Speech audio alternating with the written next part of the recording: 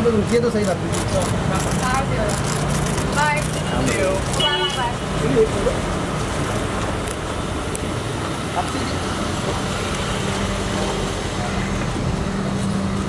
Taapsee ji एक बार पीछे देखिए तापसी तापसी ना जी तपसी जी